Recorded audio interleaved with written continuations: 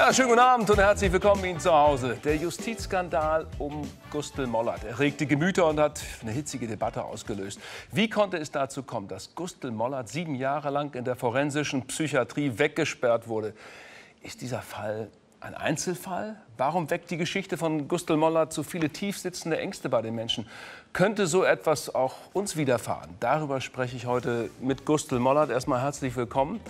Und ich begrüße den Rechtsanwalt an seiner Seite, Gerhard Strate, der die Wiederaufnahme des Falles und damit Gustl Mollerts Entlastung aus der Psychiatrie erwirkt hat. Und Uwe Ritzer ist zu Gast von der Süddeutschen Zeitung. Schönen guten Abend, herzlich willkommen. Er ist einer der Journalisten, die seit Jahren über den Fall Mollert berichten und der uns sagt, dies ist kein Einzelfall. Und ich begrüße die Psychiaterin und Psychoanalytikerin Dr. Hanna Ziegert bei uns die über die Praxis von Gutachtern und äh, natürlich aus dem Psychiatriealltag bei uns hier berichten wird. Herr Mollert, erstmal herzlich willkommen bei uns. Wir haben uns vor ein paar Tagen schon mal getroffen, ausführlich ein Vorgespräch geführt. Äh, wie ist es jetzt? Sind Sie so ein bisschen angekommen in der Normalität? Naja gut, es, es hat sich ja die Ereignisse überschlagen, regelrecht.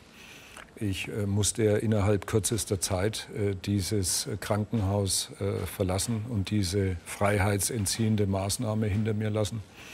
Hatte fast keine Gelegenheit, ordentlich zusammenzupacken. Ne? Ja.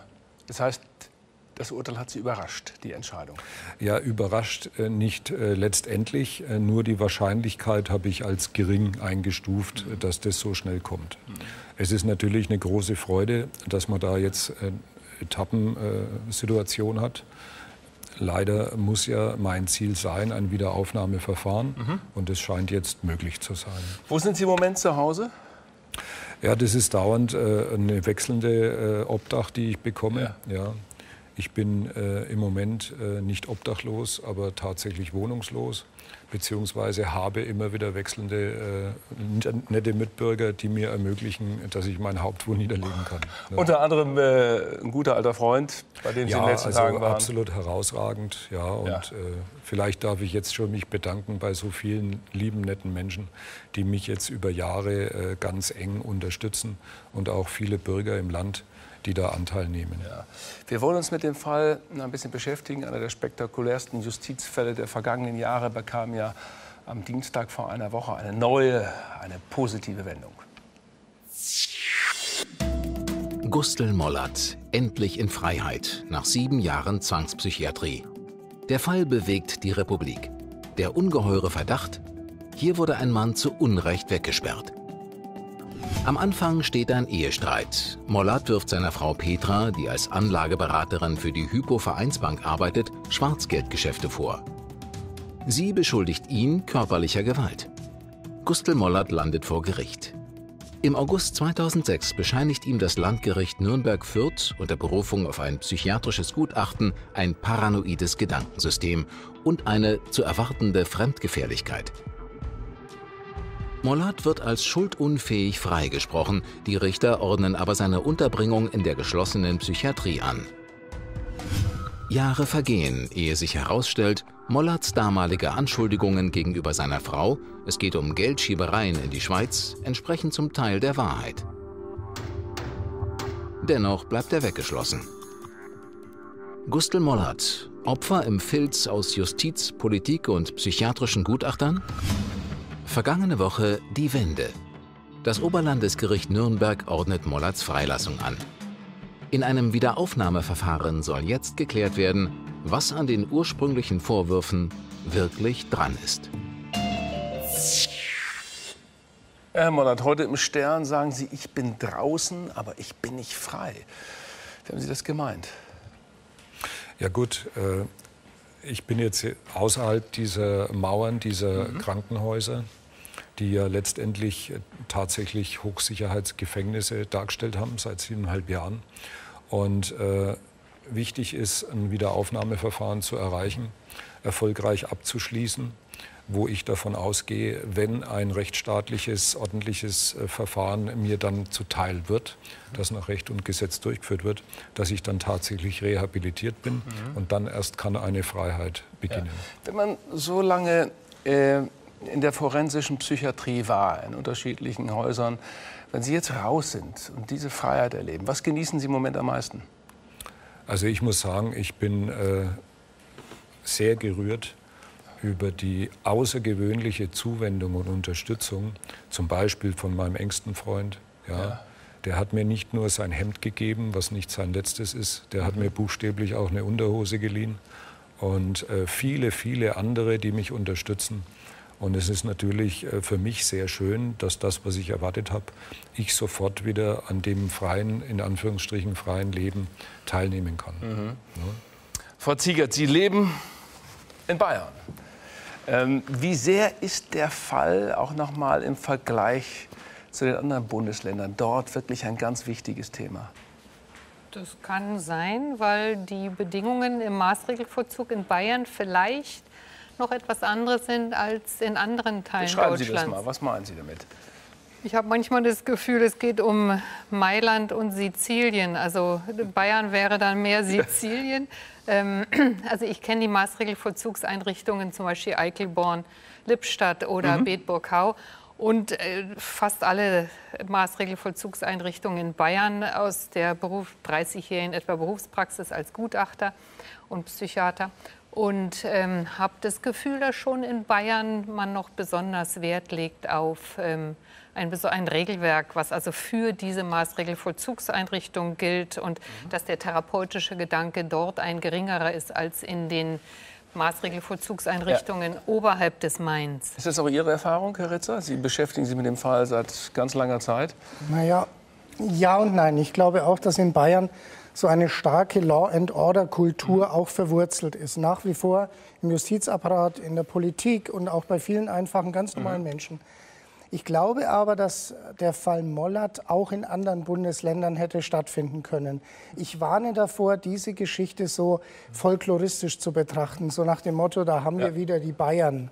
Ja, die sind ja irgendwie hinterm Mond. Das glaube ich nicht. Und ich glaube im Übrigen auch nicht, dass es so ein bayerisches, spezielles bayerisches Justizthema allein ist. Ja. Ähm, ich glaube, die bayerische Justiz, wenn wir noch, ich sag's mal jetzt plakativ, wenn wir noch Verhältnisse hätten wie zu Franz Josef Strauß Zeiten mhm. vielleicht, dann würde gegen Uli Hoeneß keine Anklage erhoben. Dann wäre der Siemens-Korruptionsskandal wahrscheinlich nie in dieser Form aufgearbeitet worden. Das andere, es triggert ja auch diese Urängste bei vielen Menschen an, die sagen, das hätte vielleicht auch in solchen besonderen Umständen auch mir passieren können.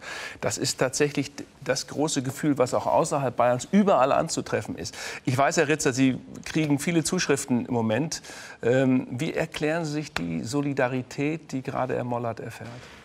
Ich glaube, das ist zum einen Solidarität, zum anderen ist es aber auch ein tief sitzendes Unbehagen. Äh, wenn wir zum Beispiel von unserem Buch aus Lesungen machen, dann ja. haben wir da 80, 90 Prozent der Menschen, die da drin sitzen, das sind kreuzbrave bürgerliche Menschen. Und die haben so dieses Unbehagen, was ist, wenn ich in die Situation komme, dass mir ja keiner mehr zuhört, dass ich erzählen kann, was ich will, dass ich äh, Briefe schreiben kann, was ich will. Und äh, ich komme in die Situation, dass keiner wahrhaben will, was ich sage. Ich laufe gegen Gummiwände. Mhm. Äh, wenn man sich das anguckt, äh, die Situation jetzt, das Wiederaufnahmeverfahren, und das passiert selten in der deutschen Justiz. Also Sie haben es, Herr Strate, beantragt. Haben Sie damit gerechnet, jetzt nach der Absage zunächst aus Regensburg, dass äh, Herr Mollert so schnell herauskommen wird? Ja, also die Absage aus Regensburg ist ja ganz bezeichnend. Äh, da haben sich drei Richter zusammengesetzt, viereinhalb Monate lang, nur um dann schließlich auf 113 Seiten darzulegen, dass alles rechtens war, was in Nürnberg äh, ähm, geschehen ist. Ich habe das Ganze, was in Regensburg jetzt passiert ist, mhm. mal als Annotation des Unrechts bezeichnet. Also sie haben Kommentare geschrieben, weshalb das alles rechtens war. Ja. Und das finde ich so unglaublich, dass drei Juristen sich manns genug sind, noch einmal in dieser Weise all das, was dort haarsträubend passiert mhm. ist, äh, äh, quasi zu bestätigen, zu bekräftigen. Gott sei Dank hat das Oberlandesgericht in Nürnberg, und das kam allerdings auch für mich und für uns unerwartet, dann sehr schnell die Reißleine gezogen, innerhalb von zwei Wochen. Die haben noch nicht einmal unsere Begründung abgewartet mhm. und haben wirklich dem Landgericht Regensburg einen Tadel ins Klassenbuch geschrieben.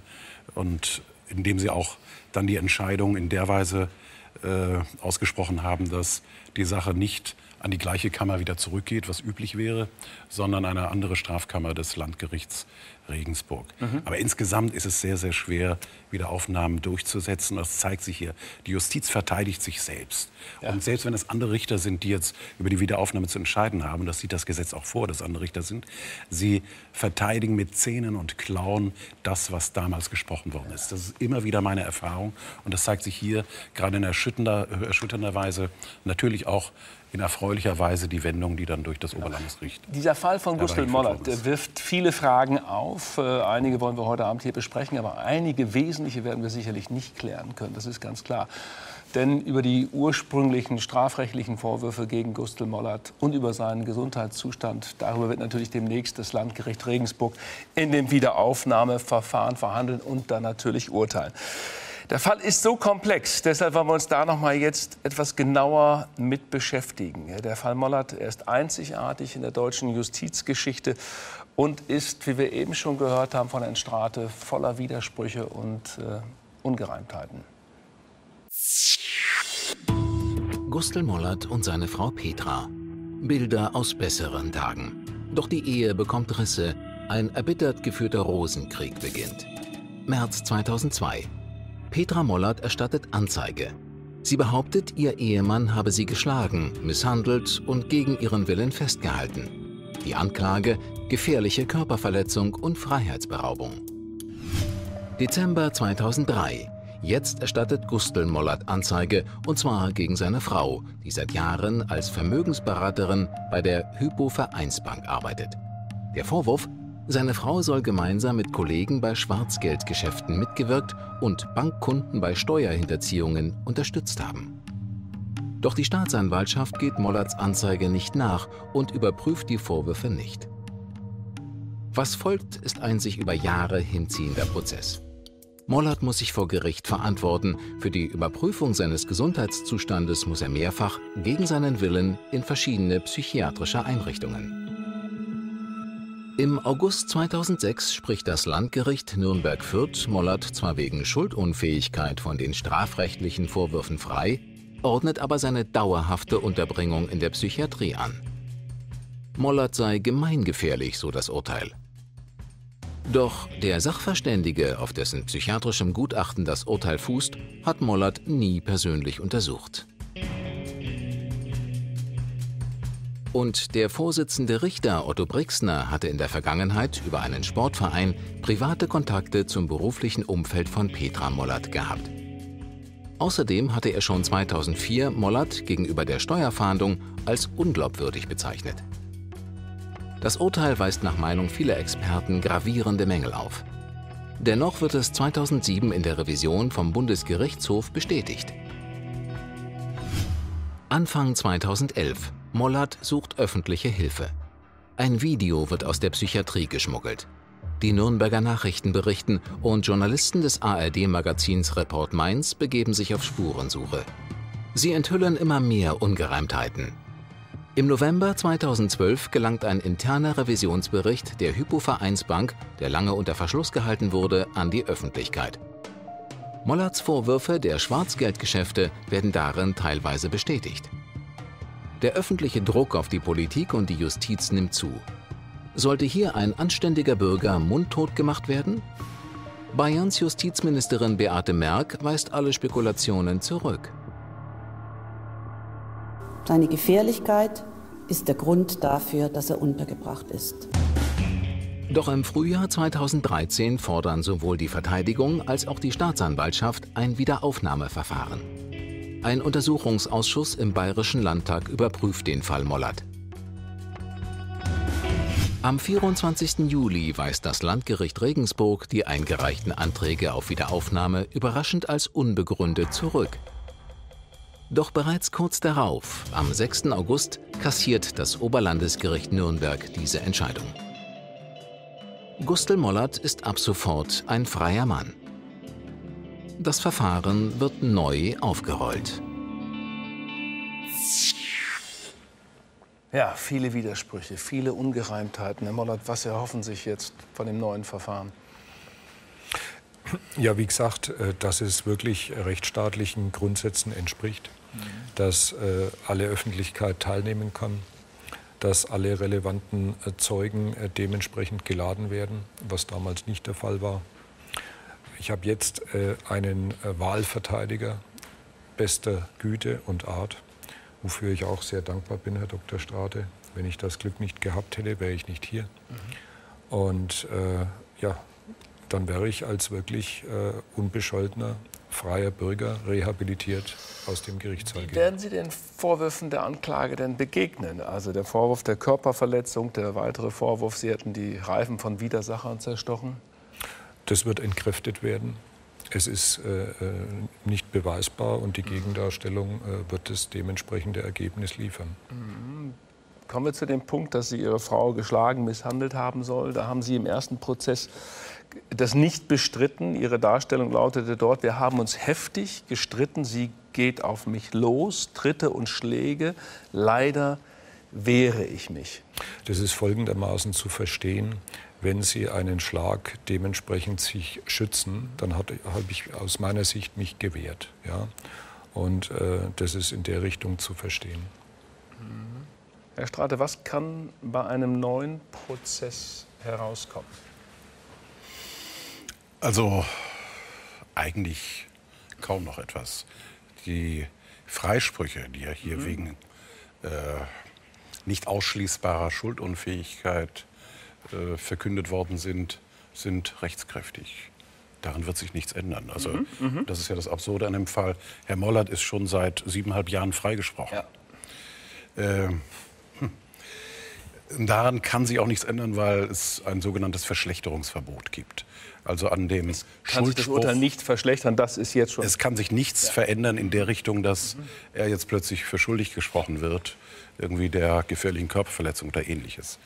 Es kann allein noch zur Debatte stehen, ob die Straftaten, die ihm damals vorgeworfen worden sind, soweit beweisbar sind, als sie wiederum auch Grundlage für eine Gefährlichkeitsprognose abgeben. Mhm. Das könnte noch zur Debatte stehen. Faktisch glaube ich allerdings nicht, dass das auch eine Ansatzweise der Fall sein wird. Ich mhm. denke, auch wenn jetzt Herr Mollert große Hoffnung hat äh, auf dieses neue Wiederaufnahmeverfahren. Ich glaube, die bayerische Justiz wird sich hier auf dem kürzesten und leisesten Wege aus dem Staube machen. Ja. Und ich glaube auch, dass beispielsweise Frau. Wann rechnen Sie mit dem Wiederaufnahmeverfahren? Ich denke nicht vor Ende des Jahres. Äh, aber auch nicht sehr viel später. Gut. Äh, wir wollen uns mal mit den Recherchen beschäftigen. Also wo wurden wann welche Fehler gemacht? Über diese Ungereimtheiten, da wollen wir ein bisschen reden. Äh, Herr Ritzer hat sich mit einem Kollegen, Olaf G. Biller, sehr lange damit beschäftigt, beide Kollegen von der Süddeutschen Zeitung. Wie und wann sind Sie auf den Fall aufmerksam geworden? Also der Fall Mollert geisterte ja schon 2011, Sie haben es ja in Ihrem Beitrag auch gezeigt, immer wieder durch verschiedene Medien. Und wir waren sehr skeptisch. Es spricht, auf den ersten Blick spricht alles gegen Herrn Mollert. Ja, ähm, dass Menschen in der Psychiatrie sitzen und sagen, ich gehöre da nicht hin, ja. das ist ein rechtskräftiges Urteil, die verworfene Revision, all die Dinge. Für uns war aus der Verschwörungsgeschichte eine, eine Affäre Mollert geworden in dem Moment, als wir Ende 2012 dann im November, Oktober, November den Revisionsbericht der Hypovereinsbank in die Hände bekamen. Einen Revisionsbericht, der im Kern aussagt, alle äh, Behauptungen, die Herr Moller damals gemacht hat bezüglich Schwarzgeldgeschäften, haben sich im Kern als wahr herausgestellt. Er hat Insiderwissen. Können Sie das detaillierter beschreiben, im Kern? Naja, es geht ja, im, es, es, wird immer so subsumiert unter dem Begriff Schwarzgeldgeschäfte. Mhm. Es ging ja um mehr. Herr Mollert hatte ja die Anschuldigung erhoben, meine Frau und andere Mitarbeiter der Hypo-Vereinsbank haben für reiche Kunden Geld in die Schweiz geschafft. Mhm. Und äh, die einzigen, die diesen Vorwürfen ja damals ja. nachgegangen sind, die Staatsanwaltschaft wollte ja nicht, die einzigen waren ja letztendlich die Banker der Hypovereinsbank. Die haben ihre Revisoren dahin geschickt und haben diesen Bericht äh, im März 2003 in Händen gehalten, wo eben diese Zusammenfassung so drin steht. Man Schwarzgelder, die in die Schweiz transferiert man, man, man stellte fest, da gibt es zum Beispiel einen Fall, da ist Geldwäscheverdacht. Es gab mhm. Hinweise mhm. darauf, dass steuerlich da äh, Dinge nicht in Ordnung waren. Und es ist explizit ja auch davon die Rede, dass Herr Mollert ganz offenkundig über Insiderwissen verfügt. Und diesen Bericht hat ja die Hypovereinsbank äh, äh, geheim gehalten, was juristisch ja in Ordnung war, aber moralisch betrachtet natürlich sehr fragwürdig. Wieso sieht äh, die Hypovereinsbank tatenlos zu, äh, wenn sie seit 2003 weiß, dass da was dran ist, wie Herr Mollert immer wieder mit dem Argument, Schwarzgeldgerede ja. ist gleich Ausdruck seines Wahns in der Psychiatrie Ritz, jetzt stellen wir uns mal vor, was wäre, wenn der Revisionsbericht von 2003, den Sie 2012 bekommen haben, früher öffentlich gewesen wäre, Herr Strate? Also wenn er schon 2003, 2004 bekannt gewesen wäre, dann hätten diese Vorwürfe, vor allen Dingen die Behauptung, dass Herr Mollert ja. einem paranoiden Wahn erliegen würde, mhm. äh, auf keinen Fall erhoben werden können. Das ist völlig klar. Ich möchte allerdings schon sagen, der Revisionsbericht, man muss natürlich einmal anfügen, warum hat nicht die Staatsanwaltschaft, mhm. der ja dieser Revisionsbericht schon seit Ende 2011 bekannt war, nicht da schon irgendwelche äh, Aktivitäten entfaltet, um Herrn Mollert eine Rehabilitierung zu verschaffen. Des Weiteren ist es natürlich so, dass die Schwarzgeldtransfers im großen Stil. Können Sie das vielleicht auch gleich beantworten? Wenn Sie das schon sagen, es lag denen vor und warum sind die nicht aktiv geworden? Ja, das ist die große Frage. Es war so, die Antwort dass, darauf haben Sie nicht gefunden. Es war so, dass der hier erwähnte Freund von Herrn Mollert, Herr ja. Braun, der hatte Ende 2011 ein Freund, ein Zahnarzt ja, aus Der hatte Ende 2011 von sich aus auf den Revisionsbericht hingewiesen, hatte dann äh, ein Wiederaufnahmeverfahren angeregt bei der Staatsanwaltschaft damit ist man in der Weise umgegangen, richtig finessenartig, wie es Juristen halt auch können. Man hat das als einen eigenen Antrag von Herrn Braun betrachtet und das Landgericht Regensburg, die siebte Strafkammer, ja. hat diesen Antrag als einen unzulässigen Antrag, weil er von einem einfachen Bürger kommt, ja. zurückgewiesen. Die Petition war aber nicht Staatsanwaltschaft gerichtet. Wenn man hätte lesen können, lesen wollen, dann hätte man eben die Staatsanwaltschaft machen lassen können. Mhm. Aber das tat man nicht, sondern man Dadurch hat es sich noch mal verzögert. Ich, Herr Mollert, was würden Sie, wenn Sie sich das jetzt noch mal vergegenwärtigen und in dieser Zeitraum, Revisionsbericht von 2003, liegt da acht, neun Jahre rum, wird nicht öffentlich. Dann bekommt Herr Ritzer diese Unterlagen und interpretiert sie und schreibt darüber. Was würden Sie den damals Verantwortlichen der Hypovereinsbank gern heute sagen?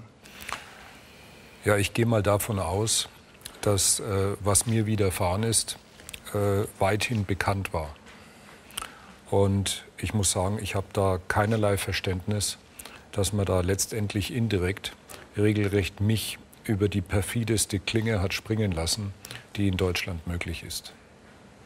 Es ist so unglaublich, äh, was ich da erleben musste, dadurch in dieser, in, mit diesem Freispruch, äh, der unter Umständen die schlimmste Strafe darstellen kann äh, in der Bundesrepublik Deutschland. Das kann dann bedeuten, bis zum Lebensende mhm. von diesen Ärzten und dem Personal äh, abhängig zu sein. Mhm. Wir wollen jetzt mal ein bisschen beschäftigen mit dem Urteil von 2006. Wir haben es eben gehört, die Vorwürfe an Otto Brixner. Das ist der Vorsitzende des Gerichts. Das entscheidende gerichtliche Urteil erging am 8. August damals, 2006. Und Herr Strate, Sie erheben ja schwere Vorwürfe gegen Otto Brixner, den Vorsitzenden Richter. Welche sind das? Das ergibt sich aus der Sache, also nicht aus den Personen. Gut, dann bleiben wir bei der Sache. Auf geht's. Welche Vorwürfe sind das? Also in dem Wiederaufnahmegesuch, was ich gestellt habe im Februar, sind insgesamt zehn Fälle von vorsätzlicher Rechtsbeugung dargestellt. Die, der schlimmste etwa ist, dass Herr Mollert faktisch unverteidigt war. Er hatte einen Anwalt, der Mollert selbst angezeigt hatte beim Gericht, dass angeblich Mollert ihm gegenüber zwar nicht tätlich geworden sei, aber er habe äh, mehrfach heftig gegen die Tür gepocht, als er zu einem Besprechungstermin nicht hereingelassen wurde. Das hatte der Anwalt dem Gericht mitgeteilt. Mhm. Äh, das wurde dann sogar als Beweismittel benutzt, um die Sache an das Landgericht zu bringen. Das war die Bitte sogar des Pflichtverteidigers, bitte nimm mich da raus. Ja, das ja. ist der Herr Dolmani gewesen, das der gesagt hat, ich fühle mich dieser Rolle nicht gewachsen. Wenn es denn so passiert ist, wie er es schildert, ja. dann ist es auch völlig okay, dass er einen solchen Antrag stellt. Warum nimmt dann ein Richter diesen Antrag nicht an?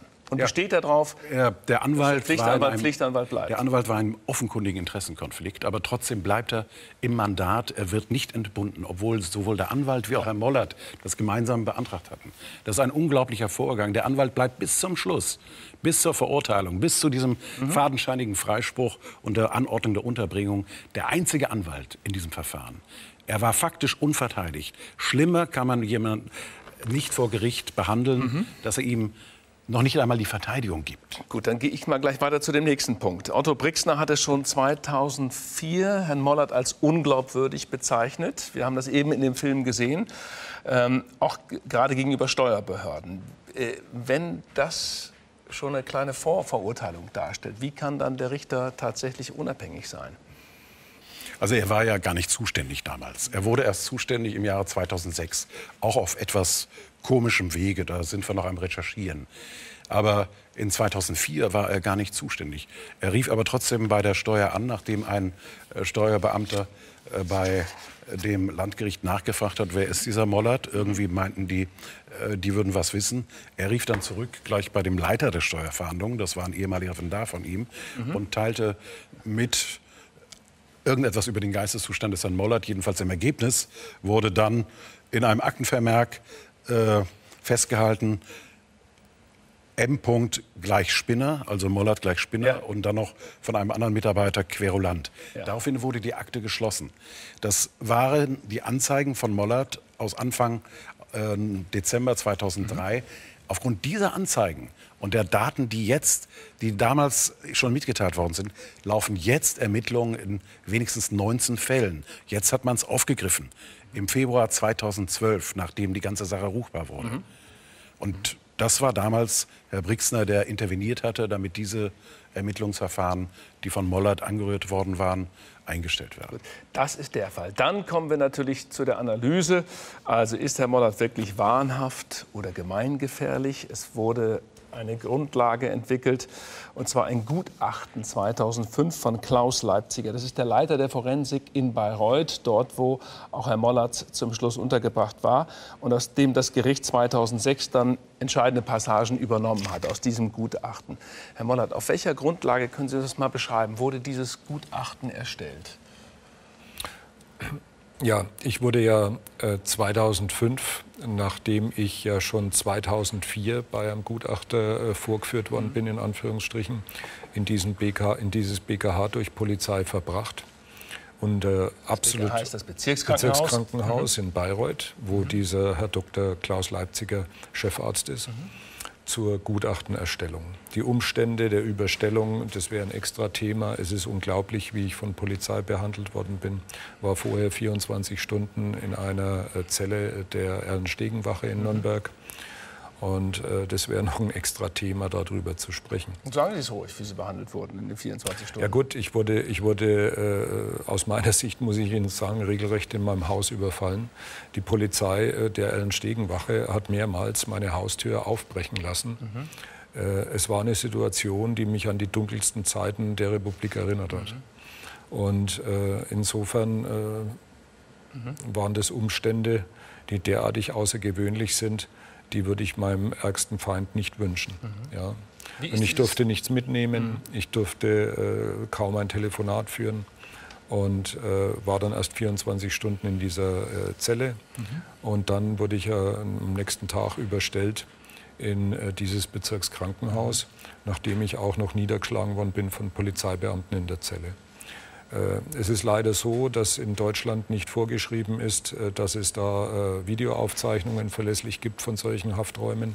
Und dann schlägt die Beweisnot leider zu. Ja. Bleiben wir noch mal bei dem Gutachten von Herrn Leipziger. Wie ist das zustande gekommen? Haben Sie sich begutachten lassen von Herrn Leipziger? Nein, nein. Mein Eindruck von dem Herrn Leipziger, den ich schon im Vorfeld gewonnen hatte, war denkbar schlecht dass ich damit gerechnet habe, was er dann auch getan hat, dass vorher, bevor er mich schon jemals gesehen hat, feststand, was er mir für eine Diagnose geben wird. Woraus wird dann so ein Gutachten entwickelt? Wie gesagt, ich wurde dann gehalten in der Eingangsstation ja. des BKH Bayreuth, also Bezirkskrankenhauses. Das nennt sich dann FP6 für noch maximal fünf Wochen nach rechtlicher Rahmenbedingung. Das habe ich gewusst, dass das so sein äh, wird. Und äh, da bewegt man sich dann auf einem sehr kleinen Raum, äh, 23 Stunden auf der Station eingesperrt mit maximal einer Stunde Hofgang, auch in einem Hochsicherheitshofgang. Nochmal die Frage, Herr Mollert, wie kommt so ein Gutachten dann zustande? Der Herr Leipziger wirft Ihnen vor, Sie hätten sich verweigert, Sie ja. hätten sich nicht begutachten lassen. Aber er muss ein Gutachten trotzdem erstellen. Schreibt er das dann aus älteren Gutachten ab oder wie entsteht das? Es war in jedem Fall so, dass ich den Herrn Leipziger, äh, als ich am ersten Tag äh, dort verbringen musste, erst mal nicht gesehen habe. So circa am zweiten Tag dieser äh, Haftsituation de facto taucht er auf, begrüßt mich und meint, äh, wir werden ja jetzt noch öfters miteinander sprechen müssen, mhm. was logisch erscheint, wenn man ein Gutachten erstellen wollte. Mhm. Dann war der Herr Dr. Leipziger nicht mehr zu sehen für Wochen. Und äh, er kam dann erst, wo diese äh, fünf Wochen äh, mhm. am Horizont erschienen, wo ich freigelassen werden musste aufgrund der rechtlichen Grundlage. Mhm und äh, wollte dann noch schnell mich in ein Besprechungszimmer unter vier Augen regelrecht zerren. Ja. Das habe ich nicht gemacht. Ich habe gesagt, ich spreche mit Ihnen gerne, aber nur unter Zeugen. Das wollte er nicht. Ja. Da gab es zwei Anläufe von ihm, die er auch über sein Personal äh, bewerkstelligt hat. Und so kam äh, der, das letzte Gespräch auch nicht zustande. Insofern hat er dann ein, ein Gutachten gemacht, ohne mich persönlich in irgendeiner Form äh, gesehen, gesprochen zu haben in größerem Umfang, ja. sondern er stützt sich offensichtlich nur auf äh, Beobachtungen und Behauptungen seines Personals. Und natürlich die Aktenlage, die mhm. das Gericht ihm zur Verfügung mhm. gestellt hat. Herr Mollert, ist, äh, wenn man sich das jetzt anguckt, also Ihr Auftreten, auch gerade am Anfang vor dem Amtsgericht, als Sie aus NS-Prozessprotokollen vorgelesen haben. Das habe ich gar nicht gemacht. Das haben Sie nicht gemacht? Nein. Wird immer wieder erwähnt, dass Sie umfangreiche, sehr umfangreiche Briefe zum Beispiel an Steuerbehörden geschrieben haben, äh, dass sich Ihr erster Anwalt, Herr Dolmani, wir haben eben darüber geredet, Ihr Pflichtanwalt körperlich bedroht fühlte von Ihnen. Können Sie nachvollziehen, dass Sie, Sie waren in der Ausnahmesituation, aber dass mhm. Ihr Verhalten auf die andere Seite auch bizarr gewirkt hat? Ja, wissen Sie, wenn Sie sich bei so einem schwerwiegenden Tatvorwurf und noch schwerwiegender im Raum stehend, äh, man will irgendeinen Paragraph 63 unter Umständen äh, das war aussprechen, schon klar. Ja, dann muss ich Ihnen sagen, finde ich es nach wie vor skandalös, mhm. wenn man sich dann keine Zeit nimmt. Es wäre ja kein Problem gewesen von allen Beteiligten, wenn man mal ein direktes Gespräch gesucht hätte mit dem Herrn Mollert. Und dann hätte sich vieles nicht nur relativiert, sondern auch erklärt. Mhm. Ja? Und äh, die Darstellung, äh, die da bisher äh, in Protokollen wiedergegeben ist, entspricht nicht den Vorgängen. Mhm. Ja? Und äh, Sie sehen jetzt, ich glaube, ich mache einen relativ vernünftigen Eindruck. Mhm. Und ich glaube auch, mit mir kann man reden. Und das war schon immer so. Mhm. Das hatte sich nie geändert. Ja?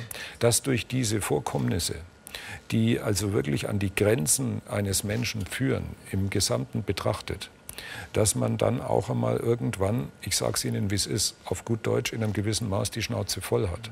Wenn man erleben muss, äh, für mich gibt es kein Recht mehr. Ja? Äh, und wenn man kommen sieht, und da gab es ja zwischendurch die Behauptung äh, meiner früheren Frau, wir machen dich fertig. Nachdem ich nicht auf ihren Vorschlag eingegangen bin, da gab es vorher dann auch noch ein Angebot, äh, äh, ich soll meinen Mund halten bezüglich dieser Straftaten im Zusammenhang mit der Hypovereinsbank etc. Äh, ich würde mit 500.000 dann aus der Sache rausgehen. Das war so zu verstehen, sie würde mir 500.000 von meinem Vermögen mhm. belassen. Darauf bin ich auch nicht eingegangen, weil ich dann, dann schon wusste, was da offensichtlich einiges bezüglich eines anderen Mannes geschehen ist etc. Und dann erst kam ja auch meine Strafanzeige erst. Also äh, diese Vorgehensweisen durch die Institutionen halte ich für kontraproduktiv, mhm. auch im Sinne der Institutionen. Jetzt gibt es natürlich auch Kollegen, auch andere Journalisten, andere Stimmen zum Fall Mollert, wie zum Beispiel Beate Lacotta vom Spiegel oder Otto Lapp vom Nordbayerischen Kurier. Auch sie sehen grobe Fehler in dem Verfahren, kritisieren aber der Fall werde momentan zu unkritisch und zu undifferenziert in der Öffentlichkeit behandelt. Beate Lacotta, mit der haben wir länger telefoniert, schrieb zum Beispiel am 1. Juli, Etliches spricht dafür, dass Gustl Mollert vor sieben Jahren zu Recht als psychisch kranker Straftäter in die Psychiatrie eingewiesen wurde. Das, wie gesagt, die Meinung der Kollegin vom Spiegel, Frau Lacotte und Herr Lapp haben wir natürlich auch eingeladen, sind unserer Einladung nicht gefolgt. Diese Entscheidung respektieren wir. Das sei an dieser Stelle auch gesagt. So, Frau Ziegert, Sie müssen mir jetzt helfen in so einer Situation. Wenn wir jetzt hören, da wird ein Gutachten nur aufgrund der Aussagen der Mitarbeiter erstellt. Es kommt nicht zu einem Gespräch mit dem Leiter der Anstalt, in diesem Fall mit Herrn Leipziger. Wo verläuft die Grenze zwischen, ich sag mal, verrückt sein, querulant und tatsächlich psychisch krank? Das sind ja beides Zustände, die äh, nicht unbedingt der Norm entsprechen. Ja. Also dass es ähm, durchaus üblich ist, dass ein Gutachter derzeit in Deutschland durchaus üblich ist, dass ein Gutachter aufgrund der Kenntnis der Aktenlage ein Gutachten erstattet. Das ist einfach so, das ist Realität. Ähm, der, auch der Bundesgerichtshof hält solche Gutachten, die nur äh, über das Ansehen oder auf ja. der Aktenlage erstellt werden, um quasi so ein Stück weit den Rechtsfrieden da zu halten oder um halt der Justiz da nicht ähm, ein wichtiges Mittel aus der Hand zu nehmen. Ich persönlich bin der Meinung, dass äh, ein Gutachten nach Aktenlage oder ein Gutachten im Gerichtssaal über eine 20 Meter Entfernung einem äh, Befund, gynäkologischen Befund auf 20 Meter entspricht. Also auch das, äh, da würde der Frauenarzt ja. angezeigt werden, wenn er da dann sagt, der Befund ist so und Aber so. Frau Zieger, das ist ja Praxis, wie ich gelernt ja, habe. Ja, das ist Fall. Praxis. Ist ja nicht nur einmal passiert, sondern mehrmals passiert. Das ist nicht nur ihm mehrmals passiert. Da kann ich Ihnen sehr viele mhm. Fälle nennen, wo dieser Befund auf so und so viel Meter Entfernung erhoben wird oder aber lediglich aus den Akten. Ähm, man kann mal aus den Akten ähm, etwas beschreiben oder kann mal Schlüsse ziehen. Aber dann ist es natürlich immer wichtig zu wissen, dass es lediglich auf ja. dem Akteninhalt passiert. Insgesamt ist bei so wirklich so wesentlichen Dingen wie eine Unterbringung im Maßregelvollzug über eine unbestimmte Zeit, es ist ja der Paragraph 63 ist ja dieser berühmte Gummiparagraph, ja. da gibt es ja kein Ende, wie, wie Sie ganz richtig mhm. sagen. Ähm, für solche Dinge, glaube ich, ist da dann lediglich auf Aktenlage oder lediglich aus Äußerungen der mhm. Pflegekräfte mhm. schon kühn. Gut.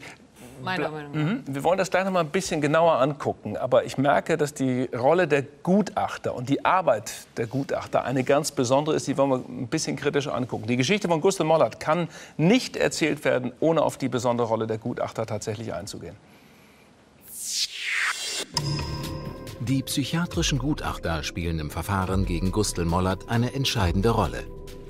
Im Laufe der Jahre wird er von insgesamt sieben Sachverständigen begutachtet.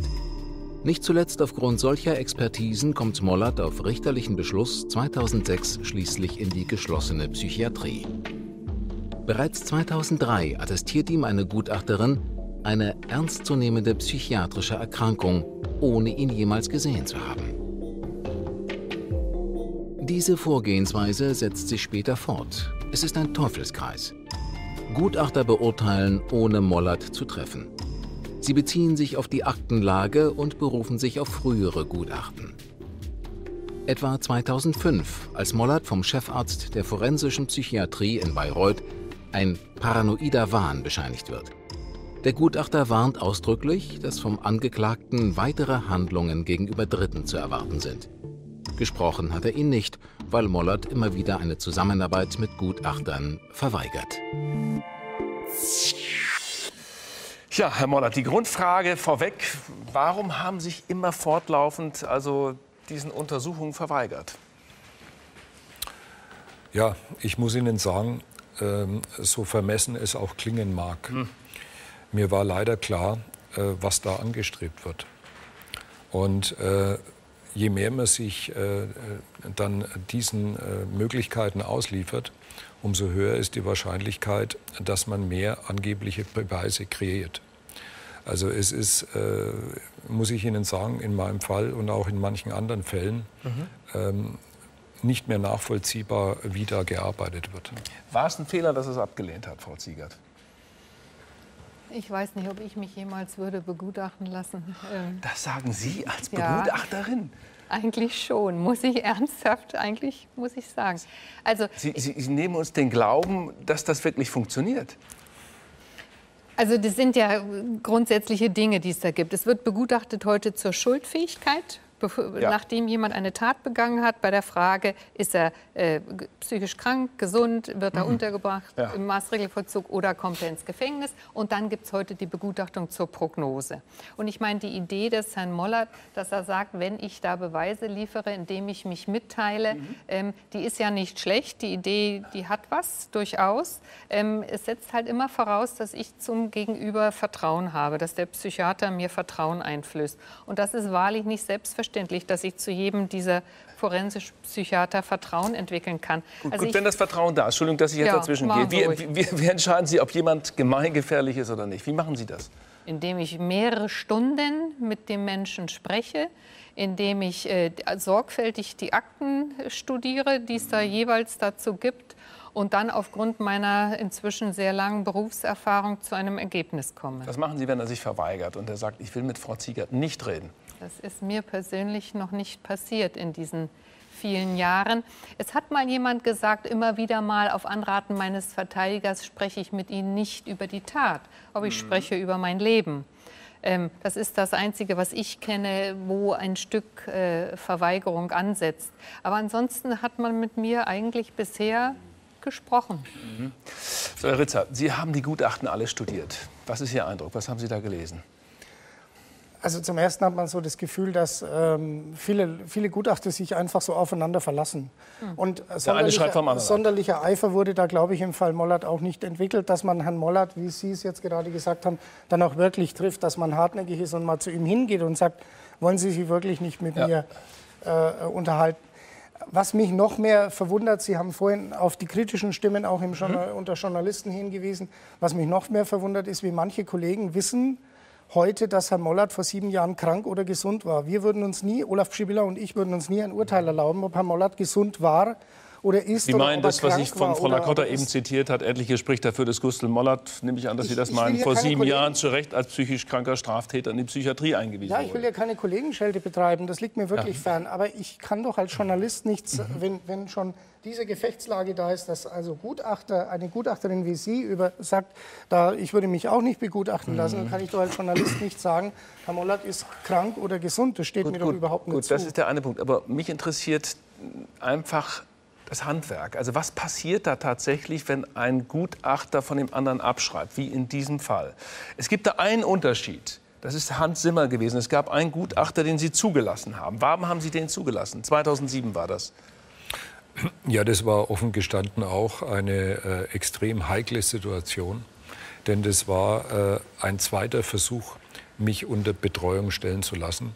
Diesmal initiiert und ausgelöst von den Ärzten des BKH Straubing, also das, das Bezirkskrankenhaus ja. in Straubing. Das ist die offensichtliche Hochsicherheitsforensik, auch deutschlandweit genutzt mhm. in Bayern. Ja.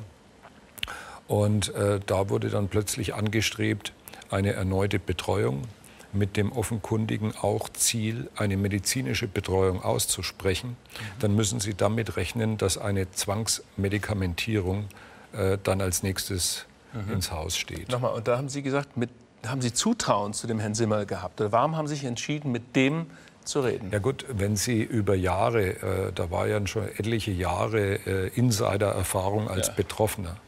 Und wenn Sie dann erleben, äh, so viele äh, unglaubliche Dinge, was Usus ist in diesen Anstalten, wenn Sie viele, viele Mitgefangene, äh, ob es Männer oder Frauen sind, erleben und äh, die Berichte glaubhaft äh, und Aktenlagen mitstudiert haben, äh, es ist sowas von desaströs, was vorkommen kann. Da muss ich Ihnen sagen, wenn Sie nicht wissen, es ist ein vertrauenswürdig arbeitender Gutachter, dann ist eine Katastrophe vorprogrammiert. Mhm. Wenn unter Umständen da was falsch gelaufen wäre und es würde jetzt da eine Betreuung allein ausgesprochen worden sein, dann wäre eigentlich mit an Sicherheit grenzender Wahrscheinlichkeit, so wie ich die Ärzte, die äh, für mich zuständig waren und das Personal in Straubing auch, die hätten mich zwangsmedikamentiert und ich hätte den Herrn Beckmann und sein äh, schönes Studio nie kennengelernt. Mhm. Ich zitiere noch mal eben das Gutachten von Hans Simmerl aus dem Buch ähm es geht natürlich um die Zeit tatsächlich in ja, Straubing, da ja. sind wir jetzt. Mollert war kein Fall für Straubing, sagt Hans Zimmer heute. Es war, er war einer von seiner Persönlichkeit her sicher ein schwieriger Mensch mit querulatorischen Zügen, der deshalb einen problematischen Eindruck vermittelt hat. Aber er war kein hochgradig gefährlicher Schwersttäter wie die anderen. Die anderen dort in Straubing ja. nehme ich an, das ist der Bezug. So, jetzt gibt es dieses Gutachten von Hans Simmer. Warum hat das dann auch plötzlich keine Bedeutung? Herr Strate, können Sie mir das Also man hat das, man ist in so Verfahren wie jetzt von der Strafvollstreckungskammer, die damals in Straubing zuständig war, dass man jetzt wieder eine äh, Koryphäe des Faches beauftragte, jetzt Herrn Professor Kröber aus Berlin. Von der Charité in Berlin. Ja, und mhm. da vor allen Dingen auch mit dem Gutachtenauftrag kritisch zu äh, dem Gutachten von Herrn Simmerl Stellung zu nehmen. Das heißt, das Gutachten von Simmerl wurde nochmal begutachtet von einem Kollegen in Berlin, in diesem Fall Hans-Ludwig Kröber. Ja. Äh, Kröber hatte kein Gespräch mit Herrn Mollert. Ja. Er war völlig zu Recht misstrauisch. Äh, es war auch so, dass Kröber entgegen seinen Ankündigungen in, seiner, in seinen Büchern, nämlich man müsse sich am Tag vorher auch bei dem Probanden anmelden, kam er just an dem Tage, an dem er auch mit Mollert sprechen wollte. Das hatte noch zusätzlich Misstrauen bei Herrn Mollert hervorgerufen. Und es kam jetzt nicht zu einem Gespräch, sodass Kröber hatte ohnehin nur beschränktes Aktenmaterial. Das lässt sich ganz klar daraus entnehmen, dass er verschiedene Fälschungen des Ausgangsurteils nicht gegenkontrolliert hatte. Ja. Was ihn aber nicht daran hinderte, wiederum dem äh, kleinen Gutachter aus Mainkofen äh, doch vorzuhalten, er solle demnächst mal die Akten etwas genauer lesen. Ähm, er hat sozusagen dieses, Gutachten von, dieses Gutachten von Kröber ja. war dann letztlich wieder eine Mitschrift dessen, was Herr Leipziger äh, hm? zu Herr Strate, um das zu verstehen, ist jetzt kurz vor Zieger dazwischen schalten, ist das Praxis? Da, wird, da schreibt einer ein Gutachten. Mhm. Und dann kommt das Misstrauen, das wird an anderer Stelle wieder überprüft, das Gutachten über das Gutachten. Eine methodenkritische Überprüfung oder ich sage Qualitätskontrolle, das ist etwas, was in den letzten Jahren ähm, durchaus üblich ist, was ich auch für sinnvoll finde, weil psychiatrische Gutachten nie einer Kontrolle unterlegen sind. Die sind ja mhm. für das Gericht, für die Juristen erstellt worden. Ein Jurist kann selbstverständlich ein psychiatrisches Gutachten fachlich mhm. nicht überprüfen, hat zwar viel Erfahrung, weiß inzwischen, äh, was er da vor sich hat, aber er kann natürlich das fachlich nicht überprüfen. Und dass es da inzwischen Kollegen gibt, die dann auch ein Gutachten überprüfen, das tue ich auch. Das halte ich für hoch sinnvoll. Also es kommt aber immer darauf an, geht man auf, sachlich auf die Sache ein oder fängt man an, jemanden zu beschimpfen oder Frau zu diskreditieren? Zieger, es war ja Insofern, hier so, dass der Kollege aus Mainkofen hatte sehr viel besseres Material. Nämlich, ja, er hatte das Gespräch mit ihm. Ja. Während Kröber es nicht hatte, ja. der musste sich wieder auf die Akten stützen. Darf ich vielleicht noch mal einen Punkt sagen, der ganz, mir ganz wichtig erscheint. Diese ganze erste Begutachtung durch Herrn Leipziger mhm. war schlicht verfassungswidrig. Es war bei den Psychiatern damals schon bekannt, aber sie ignorieren es immer wieder, genauso wie es auch der Amtsrichter ignoriert hat, als er Herrn Mollert vorläufig unterbrachte. Das Bundesverfassungsgericht hat schon im Oktober 2001 gesagt, dass die Unterbringung, zwangsweise Unterbringung, solange der Beschuldigte nicht mitwirken will, verfassungswidrig ist. Das ist ein Eingriff in die Persönlichkeitsrechte. Deshalb all diese, all diese Beobachtungen, die, und darauf stützt sich allein, es, die Beobachtung beispielsweise, dass Herr Mollert in seinem Zimmer sitzt, Tee trinkt und äh, sein Brot isst, das wurde alles notiert. Alle diese Notizen, alleine nur diese Notizen sind dann Grundlage des Gutachtens geworden, das dann später von allen weiteren Psychiatern immer wieder abgeschrieben worden ist. Mhm. Das beruhte auf einem verfassungswidrig, gesetzeswidrig gewonnenen äh, Untersuchungsmaterial. Wenn das verfassungswidrig ist, ist es trotzdem Praxis, Frau Ziegert? Ja, es ist durchaus Praxis. Es geht aber nicht. Also naja, das, das, ist ja wieder ein zweites Das ist auch Gegenstand, Thema, Gegenstand aber, einer Strafanzeige. Also Gegenstand einer Strafanzeige, die ich sowohl gegen Herrn Leipziger wie auch gegen den damals anordnenden Amtsrichter Gut, gestellt habe. Ja. da hat sich die bayerische Justiz darüber gewundert, ja. weil sie in der Tat meinten, die Exploration äh, die Unterbringung sei gerade zur Erzwingung der Exploration erforderlich. Das steht sogar in einem Bescheid der Staatsanwaltschaft Bayreuth, was durch den Generalstaatsanwalt in Bayreuth Wenn es verfassungswidrig ist, kurze juristische Zwischenfrage, äh, möglicherweise naiv, aber vielleicht doch richtig. Warum wurde das Urteil nicht in der Revision zum Beispiel 2007 vom, vom Bundesgerichtshof kassiert? Weil die das halten. Ja, weil, die, weil die das halten, weil es in Deutschland so üblich ist, dass ein Gutachten, was auf halbwegs Aktenlage oder als auf überhaupt nicht mhm. Kenntnis des Menschen erstattet wird, das wird vom BGH gehalten. Und das ist, das ist so üblich. Ja, das, der Kollege hatte das auch nicht vorgetragen. Äh, und so wie Sie auch sagten, ich würde mich nie explorieren lassen, ich ja. würde auch nie zum Anwalt gehen. Also das war mhm. eine katastrophale Revisionsbegründung.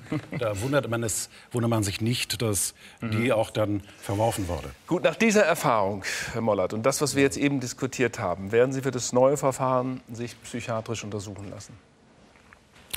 Ja gut, äh, das ist, das ist natürlich so eine Frage. Ja. Äh, mit Sicherheit, wenn überhaupt, äh, muss ich mir sicher sein können, äh, dass äh, da jemand dann auch äh, tatsächlich auf wissenschaftlicher Grundlage, die ja nicht auszuschließen ist, objektiv und wahrheitsgemäß tätig wird und tätig werden kann.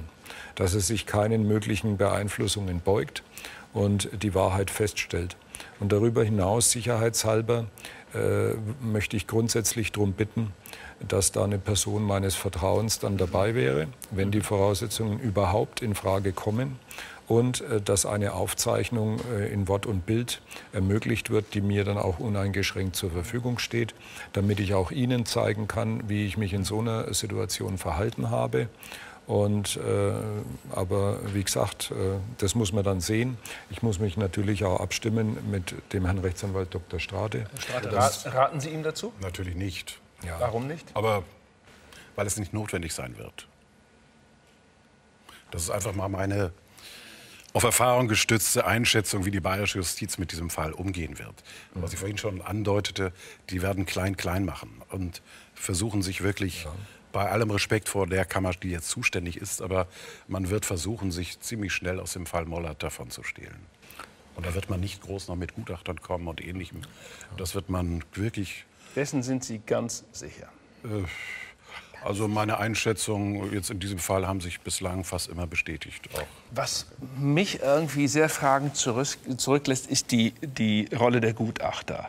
Also, wie arbeiten Gutachter? Frau Ziegert, können Sie uns das schildern? Wie verlässlich können Gutachter tatsächlich die Psyche eines Täters einschätzen? Also mir ist noch eine Anmerkung wichtig, auch zur Frage Auswahl Gutachter und ja. so. Jeder, also die, die, die Szene der Gutachter in Deutschland ist begrenzt und übersichtlich. Zumindest in den in den äh, größeren also das Geschichten. Qualitativ das heißt, oder quantitativ? Na, erstmal quantitativ übersichtlich. Mhm. Ähm, und dann weiß man auch inzwischen in den Einrichtungen, sei es im Maßregelvollzug, sei es im Gefängnis, man weiß, von, was von einem Gutachter zu halten ist. Jeder Gutachter hat einen Ruf. Ja. Und nach diesem Ruf wird gewählt, nicht nur im Maßregelvollzug, in den Anstalten, sondern auch in der Justiz. Das heißt also, bei diesen zwei Bereichen, die ganz wesentlich von den Gutachtern, also wichtig sind im Rahmen der Begutachtung zur Schuldfähigkeit und zur Prognose, gibt es eine kleine, also überbegrenzte Zahl von Gutachtern, die in ihren Einschätzungen und in ihrer Persönlichkeit und in ihren Haltungen und Werten äh, bekannt sind. Das heißt also, die Justiz weiß, wenn sie den, den oder den beauftragt, ein Stück weit, was für ein Ergebnis dabei rauskommt. Und wir Psychiater sind entscheidend.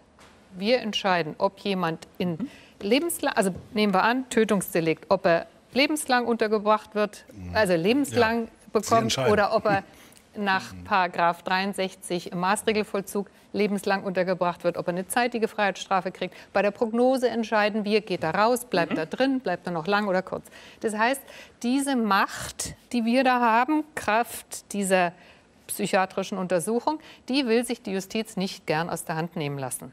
Und dann gibt es die persönliche Zuordnung. In bestimmten ja. Gerichtsbezirken sind es bestimmte ja. Gutachter, eine Handvoll, die ausgewählt werden. Und je nachdem, welches Ergebnis ich erzielen will, wird zum Teil immer mal wieder der Gutachter danach ausgewählt. Das heißt, der Richter selber sucht sich den Gutachter ja. aus und weiß so Staatsanwaltschaft, Staatsanwaltschaft als erstes ja, und dann, so. Aber das heißt, die wissen ganz genau, das ist der Gutachter, der in den Fällen zuvor schon mal so und so getickt hat bei den harten Fällen und der passt jetzt genau und bringt mir das Urteil. Noch dazu sind zahlreiche Gutachter ausschließlich Gutachter. Das heißt, die leben davon, dass eine Staatsanwaltschaft, zum Beispiel Hamburg, Berlin, Köln, große Staatsanwaltschaft, viele Aufträge schickt. Ja. Und dieser Gutachter wird, nachdem er persönlich zugeordnet wird, darauf achten, dass er nicht in Ungnade fällt bei Wie dieser Sie Staatsanwaltschaft. Das? Sie sind auch Gutachterin, halten sich aber für unabhängiger weil ich äh, nicht nur Gutachter bin, sondern noch ganz wesentliche Arbeitsbereiche daneben habe, als Therapeut, als Lehranalytiker und Supervisor. Das heißt also, für mich ist die Begutachtung vielleicht ein Drittel meiner Tätigkeit. Bräche die weg, wäre ich in der Lage, meine kassenärztliche Praxis äh, hochzufahren, ja. mehr Patienten anzunehmen, als ich es bisher kann, weil ich eben noch nebenbei viel begutachte. Und dann bin ich davon unabhängig. Das heißt, ich kann mir den Luxus leisten, durchaus zu sagen, was ich für richtig halte oder was ich für sinnvoll halte. Ich brauche mich nicht anzupassen. Mhm. Sind Sie da so eine Sonderperson? Ecken Sie damit an? Gegenüber ähm, den anderen Gutachtern? Hm, das ist äh, gegen an, bei den Gutachtern vielleicht nicht, aber vereinzelt bei der. Aber eben haben Sie mächtig aus dem Nähkästchen geplaudert. Also ob Sie weiterhin empfohlen werden, das weiß ich nicht. Trotzdem, ein das sind ja gut, das sind Dinge, die aber jedem, der in der Szene arbeitet, ja. ist, ganz, ist das, was ich sage, ganz genau klar. bekannt. Es ist völlig klar. Das, das ist die Praxis. Das weiß die Öffentlichkeit was nicht. Darüber nur, wird ja. nicht gesprochen. Es interessierte Gut. bisher nicht. Was mich auch überrascht, dass diese Abhängigkeit, die Sie beschrieben ja. haben, zwischen Richter, Staat, ja, das ist die eine Sache, aber auch zwischen Richter, Staatsanwaltschaft und den Gutachtern. Da hat jeder seine Spezies, so habe ich das verstanden. Haben Sie diese Abhängigkeit auch entdeckt beim Lesen der ganzen Unterlagen der Gutachten? Also wenn man da so als Nicht-Gutachter, Nicht-Jurist ja. da auf, diese, auf diesen Fall schaut, dann wundert man sich eigentlich ständig, wenn man Akten liest. Weil man, weil man ständig in Abgründe blickt. Ich konnte mir vorher, um das Thema noch mal kurz anzuschneiden, ich konnte mir nie vorstellen, dass Menschen in der forensischen Psychiatrie weggesperrt werden, über Jahre hinweg, wie das bei Herrn Mollert geschehen ist, die nicht untersucht wurden, mhm. wo sich Leute hinsetzen und anhand von Akten allein irgendwelche Gutachten schreiben. Das halte ich für, für dermaßen unglaublich. Und ich muss Ihnen auch sagen, das ist auch etwas, was zum Beispiel eine, eine ganz große Rolle spielt bei den unglaublich vielen Reaktionen, die wir auf unsere Berichterstattung ja. in der Süddeutschen und auch das Buch jetzt haben, dass Menschen gibt, die sagen, ist das wirklich so? Das können wir uns nicht vorstellen. Und das nährt auch dieses Unbehagen. Und es gibt ein unglaubliches Unbehagen, das sich jetzt in den Reaktionen auf den Fall Mollert, auf die Berichterstattung äh, äußert. Ein unglaubliches Unbehagen gegenüber psychiatrischen Gutachtern, gegenüber Gerichten und gegenüber den Mechanismen, die da ablaufen, äh, wo man so das Gefühl hat, da ist auch sehr, sehr viel Schema F drin. Da geht es oft nicht um den Einzelfall, da wird ein Gutachter und dann wird auch nicht hinterfragt, wie wird dieses Gutachten erstellt, hat er nur Akten gelesen, hat er sich stundenlang mit dem mhm. Menschen unterhalten. Und da ist ein sehr, sehr großes Unbehagen da bei das vielen heißt, Menschen diese Erfahrung, die Sie jetzt gemacht haben durch die Recherche und diesem vielen Lesen der, der Gutachten, sind Sie auch zu der Meinung gekommen, dass dieses kein Einzelfall sein kann?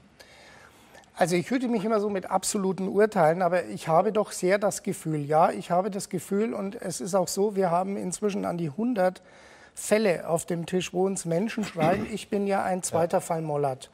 Und da sind auch Fälle dabei, wo ich so das Gefühl habe, da gibt es Strukturen, die ähnlich gelaufen sind. Da sind Dinge oft ähnlich gelaufen. Und das lässt schon ein großes Unbehagen zu. Ja, ja. Frau Ziegert, Sie haben eben genickt. Naja, ich kann das bestätigen. Also ich habe zahlreiche vergleichbare Fälle und ich habe in letzter Zeit viel mit einem Herrn zu tun, der äh, auch im Maßregelvollzug seit 19 Jahren inzwischen untergebracht ist, weil er gelegentlich wenige Mal in seinem Leben sein Glied hergezeigt hat. Da ist die Frage der Verhältnismäßigkeit mhm. natürlich relevant. Der ist trotz eines Gutachtens von mir, wo ich dringend empfohlen habe, dass man den Versuch einer Entlassung wagt, das ist. Ja. Ich möchte auch noch einen Gedanken anfügen. Diese Frage, wie viele solche Fälle gibt mhm. es?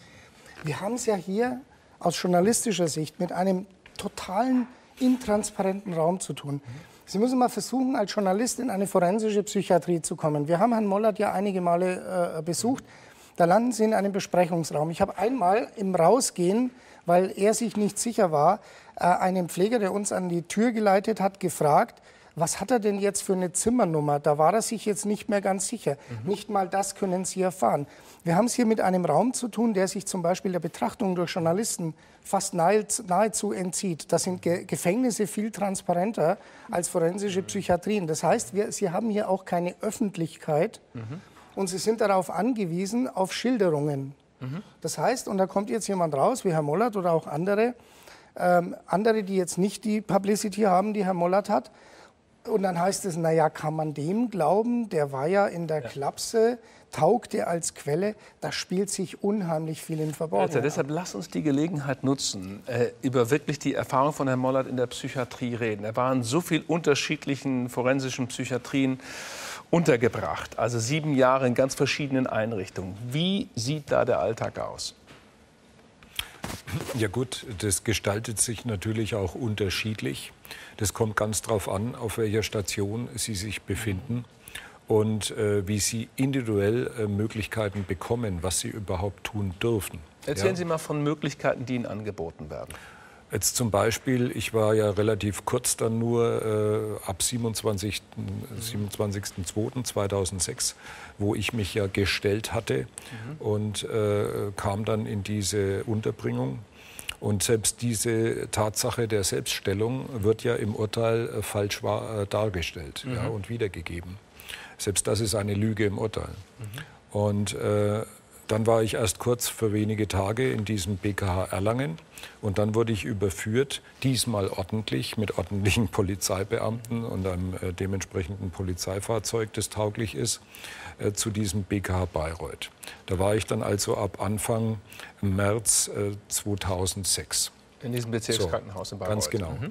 Dann äh, im April schon äh, wurde da eine regelrechte konzertierte Aktion äh, entmündigen und regelrecht, ich nenne es so wie es ist, deportieren in dieses BKH Straubing. Und äh, dann war ich drei Jahre in diesem Hochsicherheitsgefängnis de facto mhm. im BKH Bezirkskrankenhaus Straubing gehalten. Was durften Sie da, was durften Sie nicht? Ja, äh, zum Beispiel äh, kommt es, wie gesagt, darauf an, wo Sie sich befinden. Üblicherweise gehen Sie durch eine Eingangsstation da haben sie die höchsten Einschränkungskriterien. da ist dann üblicherweise erst einmal 23 äh, Stunden in einem äh, Haftraum.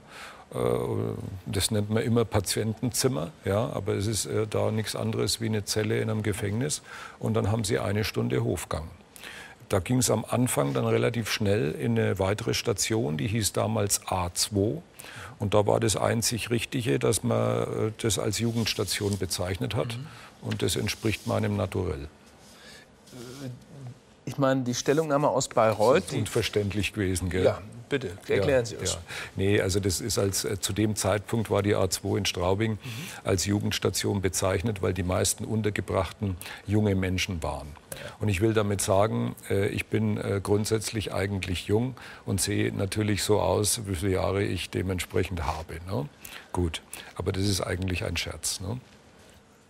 Ich will aber trotzdem noch mal zurückkommen auf das, was Sie als Bedingung geschildert haben. Es gibt eine Stellungnahme, ja. nicht aktueller Art, sondern im Mai von dem Bezirkskrankenhaus in Bayreuth, die gesagt haben, äh, also was den Vorwurf sozusagen der nächtlichen Störung betrifft, dass jede Stunde jemand reingekommen wäre. Kein Patient der Klinik wird sozusagen die, wie öffentlich dargestellt, nachts zweistündig oder gar stündlich geweckt. Richtig ist vielmehr, dass wir in Krankenhäusern üblich in der Zeit der Nachtruhe zwischen 23 Uhr und 5 Uhr Mitarbeiter des Pflegedienstes einen Kontrollgang unternehmen. Ich unterstelle ja diesem System und den handelnden Personen nicht, dass die das Ziel haben, gezielt Menschen aufzuwecken. Mhm. Die bestätigen ja die Richtigkeit meiner Aussage, dass nachts Kontrollen gibt. Und Hat es das gegeben bei Ihnen, dass Sie ja, regelmäßig... Selbstverständlich, klar. Im BKH Straubing ist äh, obligatorisch gewesen, eigentlich auf allen Stationen, da gab es dann, das ist ein gewisser Vorzug, ausschließlich einzelne Patientenzimmer, ja, also ja. Hafträume, die dann nachts je nach Station ja, äh, äh, abgeschlossen sind ja, und abgesperrt sind. Die haben dann äh, für nächtliche Kontrollen äh, dementsprechende Glasscheiben in etwa äh, so, so einer Größe in der abgesperrten Tür. Und äh, in meinem Fall und in allen anderen Fällen war es obligatorisch, dass da jede Stunde eingeleuchtet wurde durchs Personal zur Nachtkontrolle. Mhm. Man, äh, es war gewünscht und äh, eigentlich erzwungen, wenn man das nicht gemacht hat, dass man auch so liegt, dass äh, die Augen in Richtung dieser Tür zeigen. Mhm. Und wenn man da prophylaktisch versuchen wollte, dass nicht möglich ist, dass einem direkt in die Augen gestrahlt wird, sich andersrum ins Bett gelegt hat, mhm. äh, das ist schon gemaßregelt worden. Mhm. Das andere ist sozusagen der Hofgang. Sie haben eben gesagt, nur eine Stunde Hofgang pro Tag. Auch da sagen die äh, Verantwortlichen hier in der Stellungnahme aus Bayreuth, das sei mhm. ganz anders gehandhabt worden. Da gäbe es große Freiheiten und äh, keine wie gesagt, wie gesagt äh, es geht ja im Moment um den Herrn Mollert. Ja? Und äh, grundsätzlich, und da wäre es schön, wenn man da Verantwortliche mal hier am Tisch hätte. Ja. Und äh, wenn die in aller Öffentlichkeit nachweisbar zur Rede von mir gestellt werden könnten, dann müssten die, wenn sie nicht lügen, zugeben, dass es obligatorisch ist, dass in der Eingangsstation äh, niemand äh, länger erst einmal bei der ersten Stufung, die das die da betrifft die Eingangsstation. Haben, mhm. Das ist auch auf anderen Stationen so. Ja? In meinem Fall war es wirklich jahrelang, war nur möglich ein einstündiger Hofgang. Mhm. Und äh, die nennen das grundsätzlich Gartengang. Und ich war Hofgängen ausgeliefert, zum Beispiel gerade im BKH Bayreuth. Mhm. Äh, der hatte 60 Schritte im L. Mhm und äh, hatte so eine Situation äh, mit hoher Betonmauer auf der einen Seite, auf der anderen Seite das mehrstöckige Gebäude. Bei der Betonmauer drei äh, Wicklungen NATO-Stacheldraht drüber mit Kameras. Also äh, da habe ich Mitgefangene kennengelernt, äh, die dann gemeint haben, obwohl sie jahrzehntelang schon äh, glaubhaft äh, äh, Haftsituationen. Ja, uns erzählen, wer waren die anderen Patienten? Die wer waren die anderen Patienten? Entschuldigung. Ja, das ist äh, ganz unterschiedliche Menschen. Ne? Mhm. Also das setzt sich zusammen in einem Spektrum. Wenn Sie in der Eingangsstation sind, haben Sie Menschen in U-Haft-Situationen auf solchen Stationen, wo es noch kein Urteil gibt. Dann gibt es Menschen, die äh, abgeurteilt sind. Die teilen sich in Paragraph 63, ja. wo es äh, sogenannte Freisprüche dann gibt aufgrund äh, von äh, geistiger Problematik äh, mit mehr oder weniger Schuldunfähigkeit für die Straftat. Und es gibt äh, nach Paragraph 64 StGB Verurteilte, die beurteilt worden sind, dass ihre Straftat in Einfluss von Drogen oder Alkohol äh, entstanden sind. Und die haben dann ein dementsprechendes weit gefächertes äh, Tatprofil äh, ja, oder, oder Arten von möglichen Straftaten. Das ist die ganze Palette, die Sie sich vorstellen können, die an Strafgerichten vorkommt. Mhm. Ja. Jetzt ja die Frage, wenn man dort ist, gibt es Therapien? Also gibt es Behandlungen oder es wird alles nur medikamentös gemacht? Also ich muss Ihnen sagen, äh, grundsätzlich äh, ist ein offenkundiges Ziel, möglichst immer zu medikamentieren. Es ist wirklich die Ausnahme, dass jemand es, äh, es schafft oder das passiert, so mhm. wie bei mir, dass da Medikamente äh, unterbleiben. Es ist feststellbar. Sie haben das verweigert, haben Sie, ich nehme diese Medikamente nicht. Selbstverständlich, ja. Mhm. ja. Weil wissen Sie, ich war vorher nicht blauäugig mhm. und das, was ich in kürzester Zeit habe erleben müssen, das ist so entsetzlich. Diese sogenannten Nebenwirkungen, die ja selbst die Hersteller dieser Medikamente bereit sind, preiszugeben. Mhm. Ich bitte jeden, das durchzulesen. Und wenn Sie dann darüber hinaus diese Nebenwirkungen anhand von äh, mitgefangenen Patienten miterleben müssen. Es ist unglaublich. Das ist äh, letztendlich äh, medikamentös äh, eingesperrt im eigenen Körper. Äh, Zwangsbewegungen werden ausgelöst. Die Menschen äh, können ihren Speichelfluss nicht mehr kontrollieren. Ja? Äh, die Menschen machen in die Hose. Die Menschen ähm, haben keinen Sexualtrieb mehr. Das wäre vielleicht nicht das Schlimmste. Aber die Palette ist sowas von weit, äh, es ist unglaublich. Langzeitschäden äh, jeglicher Art. Äh, Herzprobleme, äh, auf Organe äh, ja. gehen die Dinge. Ja. Ja. Der Vorwurf von Herrn Mollert ist ja eben knallhart gewesen zu sagen, also da wird nur über Medikamente gearbeitet. Nur nicht. Nee, nee, das habe ich nicht gesagt. Das hat er auch so nicht, nicht Das hat er, glaube ich, so habe ich ihn auch nicht verstanden. Nee, nee. Nur ist sicher nicht richtig, aber das ist die, die, die, die, die Psychiatrie als solches bietet Medikamente, Diagnose und Medikamente. Und dann käme der psychotherapeutische Teil. Wie wichtig sind Medikamente? Die Medikamente sind wichtig. Ich habe jetzt gerade einen Mann begutachtet, Jahrgang 67, mhm. der hat jemanden in der akuten Psychose getötet, völlig aus äh, heiterem Himmel quasi und ist dann äh, medikamentös behandelt worden. Der ist heute ohne Psychose, der ist wieder wieder mhm. in der Realität. Der hat eine sehr qualifizierte Ausbildung machen können, weil er einen hohen IQ hat.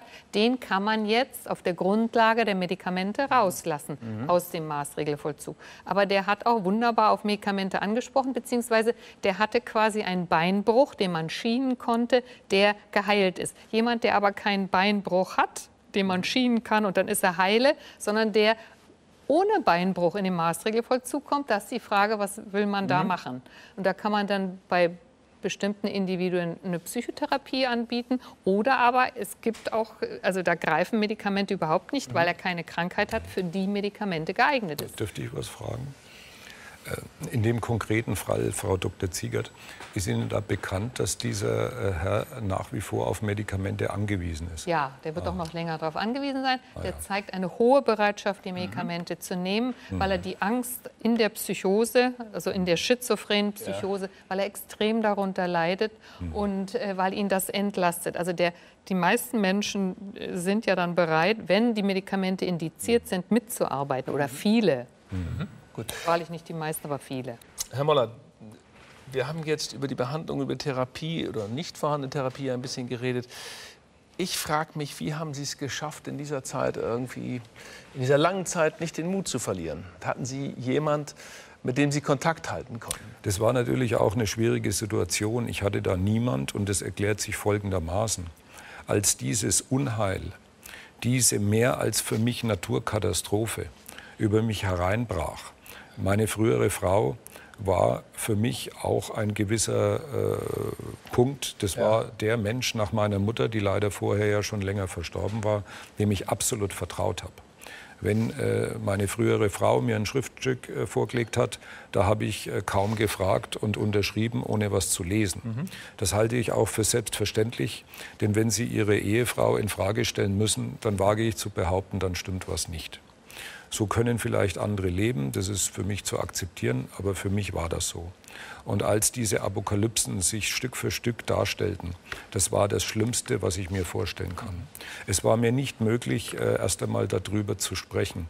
Ich habe da eine Loyalität auch äh, selbst heute noch in einer gewissen Art, dass mir das höchst, höchst unangenehm ist. Mhm.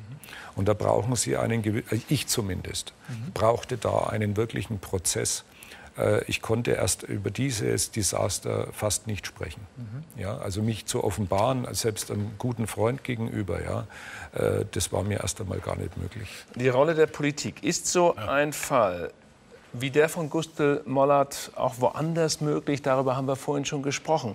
Aber Herr Ritzer, wie hat sich die Politik in diesem Fall verhalten? Also im Zentrum der Kritik steht jetzt die Justizministerin, Frau Merck. Ja, nach den Recherchen, die Sie unternommen haben, wie bewerten Sie die, die Rolle von Frau Merck? Also, dass Frau Merck jetzt so tut, als ginge ja das Wiederaufnahmeverfahren ja. auf ihre Initiative und ihre Idee zurück, das ist für mich äh, an politischer Dreistigkeit eigentlich nicht zu überbieten. Frau Merck hat über Monate hinweg, wir haben das ja in Ausschnitten auch gesehen, über Monate hinweg Herrn Mollert für gefährlich erklärt. Sie hat gehandelt nach dem Motto, es gibt ein rechtskräftiges Urteil, was rechtskräftig ist, ist richtig. Und es lagen ihr ja frühzeitig Hinweise vor darauf, dass neue Zeugen, Herr Braun, der vorhin schon kam, dass, dass da einiges schiefgelaufen ist. Und sie hat sich so nach meinem Dafürhalten und wenn man auch mal diese Protokolle, wenn das Thema im Landtag war, im Rechtsausschuss nachliest, sie hat sich dem kategorisch verweigert. Und ich finde es, ich finde es wirklich dreist, dass sie Was ist so der Hintergrund? Tut, Warum hat sie sich verweigert? Wollte sie die Justiz einfach sozusagen als, als oberste Ministerin schützen? Also entweder hat sie einen Apparat, der sie einfach schlecht informiert hat, oder es ist eine Form von einer bestimmten politischen Sturheit, einem falsch verstandenen Mir san mir Darüber zu spekulieren, da müsste man sich selber fragen. Aber sie ist ja leider heute nicht hier. Na, Frau Merck haben wir natürlich eingeladen. Ja, uns auch mehrfach ich versucht. Gern mit ihr diskutiert. Ja, wir haben viel telefoniert. Aber sie sagt, sie hätte heute einen wichtigen Termin, einen Wahlkampftermin. Und äh, was hätten Sie denn gern von Frau Merck gewusst heute? Ja gut, äh, grundsätzlich glaube ich, äh, im wahrsten Sinne des Wortes äh, sprach und spricht Frau Merck für sich. Äh, was man öffentlich äh, registrieren konnte, schon vor über einem Jahr, die Statements, die sie abgegeben hat über meine ja. Person und diesen Fall, die sind, glaube ich, 180 Grad konträr äh, zu dem, wie es es jetzt, ich muss leider sagen, zum Besten gibt. Und äh, ob das von mir interpretiert werden muss, ich glaube es fast nicht. Ne? Sie hätten keine konkreten Fragen an Frau Merck? Ja gut, äh, was soll man da noch sagen? Also die Eindrücke, die ich gewonnen habe, äh, ich sage es Ihnen, wie es ist, ich habe wirklich das Gefühl, auch wenn das jetzt unverschämt klingt, mhm. da ist, glaube ich, Hopfen und Malz verloren. Also äh, so zu agieren und äh, so schlecht dann letztendlich informiert zu sein. Sie ist die Justizministerin, sie ist an oberster Position, sie hat die Verantwortung und schon vor etlicher Zeit konnte man ja äh, eigentlich wirklich feststellen, dass man sich um den Fall eingehender kümmern muss. Mhm. Und dann erwarte ich von dem äh, besten Land, selbsternannten besten Land in, in Deutschland, Bundesland, dass dann da eine Justizministerin anders tätig wird. Ja. Herr Strate, wird Herr Mollert für die sieben Jahre in der Psychiatrie möglicherweise entschädigt werden? Also ich bin abergläubisch. Äh, über Entschädigung und die Höhe von Entschädigung rede ich nie, bevor ich nicht endgültig die Entscheidung habe. Also verzeihen Sie mir, wenn ich Ihnen das jetzt nicht beantworte. Ich werde auch nicht. Ich will nicht mit über die Höhe mit Ihnen reden. Ja. Die Frage ist nur, wird er entschädigt? Ja, natürlich. Ja. Das sieht, steht das, sieht das Gesetz vor. Ja. Darf ich aber trotzdem noch mal ganz kurz was sagen? Äh, wir haben Frau Merck zumindest eines zu verdanken, nämlich die Anordnung einer Wiederaufnahme. Äh, die mag motiviert sein, wie auch immer, aber ich habe so etwas noch nie gelesen. So etwas gibt es auch nur in Bayern. Da bekommt der Generalstaatsanwalt am 30.11.2012 ja. plötzlich die Anordnung, eine Wiederaufnahme zu beantragen. Also nicht eine Wiederaufnahme zu prüfen, mhm. sondern es kommt gleich die Anweisung, sie zu beantragen. Die, gar nicht also die Prüfung, sondern man denkt sich natürlich auch, wie ist es denn, wird es wahrscheinlich häufig auch mal andersrum sein diese oder jene Anklage nicht zu erheben. Äh, das könnte natürlich auch sein. Hier in diesem Falle war es wunderbar, weil wir die plötzlich die Sache an eine wirklich exzellente Staatsanwaltschaft in Regensburg kamen. Es gibt ja auch exzellente Juristen in Bayern, äh, die sich hier auch wirklich von der besten Seite gezeigt haben. So kamen wir in diese ungewöhnliche Situation, dass sowohl Verteidigung wie auch Staatsanwaltschaft äh, gemeinsam quasi und ich will nicht sagen abgesprochen, aber aufeinander abgestimmt, wieder Aufnahmeanträge gestellt haben. Das haben wir auch Frau Merck zu verdanken. Natürlich über die Motive will ich jetzt nicht reden, aber so. Ich habe jedenfalls ausführlichen Lob ja. für Frau Merck würde ich gern. die Ironie lief, hier, lief, an den Seiten hier runter. Das war ja nicht. So, Herr Mollert, wie sehen die Pläne aus für die Zukunft? Was für Gedanken haben Sie da? Ja gut, ich habe es Ihnen ja ähm, am Anfang äh, beschrieben, was aufgrund der rechtlichen Rahmenbedingungen für mich relevant ist. Das ist dieses Wiederaufnahmeverfahren. Jetzt bin ich in Semi-Freiheit aus meiner Sicht, ja. muss mich natürlich kümmern um Dach über Kopf und äh, dass da äh, der gefüllte Bauch äh, nur langsam äh, schmäler wird.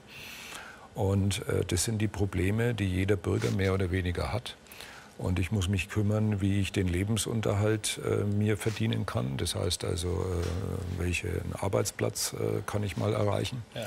Was wollen Sie beruflich machen? Wo wollen Sie leben? Wieder ja, zurück nach Nürnberg, äh, Bayern?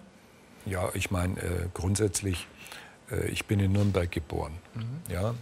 Und seit Generationen, vielen Generationen, lebt meine Familie in jeglicher Richtung in Deutschland.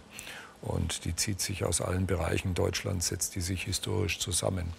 Und ich bin auch ein überzeugter Deutscher, auch wenn ich andererseits teilweise. Also Deutschland schon mal nicht verlassen, höre ich daraus. Aber in jedem Fall lasse ich mich nicht aus Nürnberg vertreiben, wo Sie ich bleiben in Nürnberg. Bin. Ich werde wieder versuchen, mich in Nürnberg anzusiedeln. Ja. ja. Und ja. Äh, ich glaube, das kann man auch schaffen. Ja. Als wir uns vor zwei Tagen getroffen haben, zum ja. längeren Vorgespräch, haben Sie gesagt, Mensch, Sie denken auch darüber nach, ein Buch zu schreiben über das, was Sie dort alles erlebt haben und erfahren mussten. Ja. Steht der Plan? Ja gut, äh, äh, es sind unterschiedliche Gründe. Äh, es ist auch eine Verpflichtung, das machen zu müssen. Ich muss Ihnen sagen, die Auseinandersetzung... Warum Verpflichtung? Ja gut, diese vielen Schicksale von anderen, äh, die immer noch in, in solchen Anstalten sind, diese äh, Unsäglichkeiten, die ich da miterleben musste, die äh, müssen letztendlich äh, für einen ordentlichen Menschen Verpflichtung sein, dass er einen Beitrag leistet, dass diese Dinge, die da und diese Bandbreite von möglicher Willkür, dass die öffentlich wird, dass das möglich jeder, möglichst jeder Bundesbürger zur Kenntnis nehmen kann und die dementsprechenden demokratischen äh, Mechanismen dann vielleicht ausgelöst werden. Herr Mollert, ich bedanke mich sehr, dass das geklappt hat, dass Sie heute in Hamburg bei uns zu Besuch waren. Ich bedanke mich bei Ihnen sehr und wenn ich noch eins vielleicht anfügen darf, äh, ich muss sagen, ich bedanke mich außerordentlich bei Medienschaffenden wie Sie, wie Ihr ganzes Team.